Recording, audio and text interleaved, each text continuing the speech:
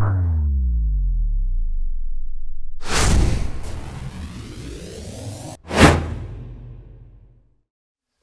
nedávném přátelském zápase s kanadským týmem dal Bedřich Ščerban desátý gol v zápase, zápas skončil 11-6, takže platí v kabině veteránů stejné podmínky, stejné eh, podmínky pladeb za eh, desáté góly?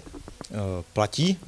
Olda Válek jako kapitán se hnedka ozval, dožadoval se toho, abych splatil dluh, ale je těžký, když jsme na společným routu, který jsme měli, měl nějakým způsobem zajišťovat objednávat pivo, když pro veterány Dukly hlava to pivo bylo zdarma od sponzora, takže uh, jsem se rozhodl, že to uděláme jinak.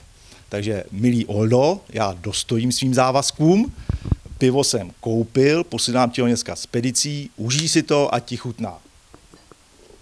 Tady je.